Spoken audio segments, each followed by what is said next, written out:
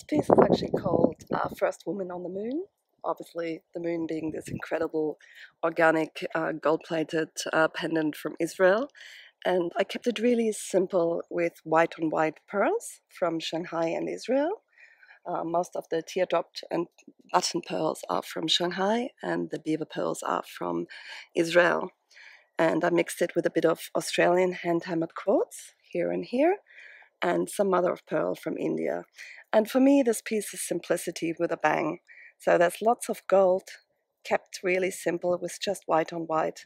And with this piece, you can dress it down on a simple t shirt, but you can really dress up with a little black dress for a big night out.